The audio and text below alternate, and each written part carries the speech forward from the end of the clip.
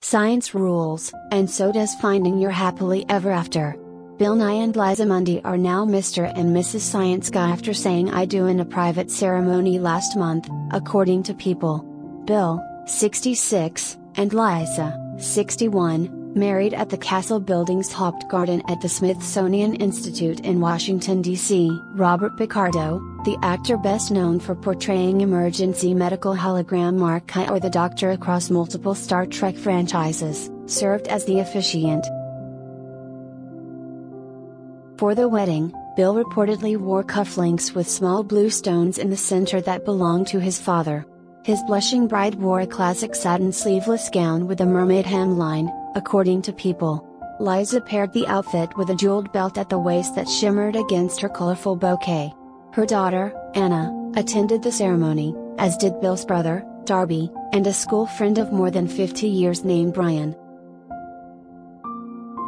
At the reception, Darby, Anna, and Brian shared words of congratulations and toasted the new couple.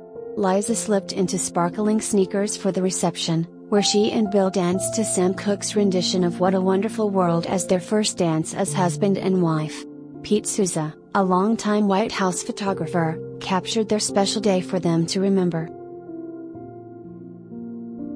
Bill's private life had remained very much that, even when he became one of America's most prominent science figures. People shed light on how this romance came to be. Liza, a former Washington Post reporter and New York Times best-selling author, mentioned Bill's mother, cryptanalyst Jacqueline Jenkins Nye, in her book Code Girls, The Untold Story of the American Women Code Breakers of World War II. When Bill learned of his mother's inclusion in the book, he wrote Liza an email, which began a friendship that turned into a love that took them down the aisle.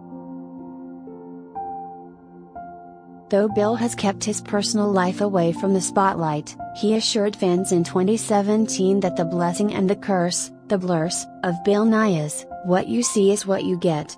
I really am passionate about science, and I really am a regular person. I can't be unlike the way the guy in the Science Guy show is on all the time, Bill added in his talk with the Smithsonian Magazine. You can't project that energy all day. At the same time, if I go into a grocery store, you might presume that I came into a grocery store to sign grocery bags, that's what it may look like to a patron. But a lot of the time, the reason I go into a grocery store is to shop for groceries. But people, my fans, are my bread and butter. I understand that.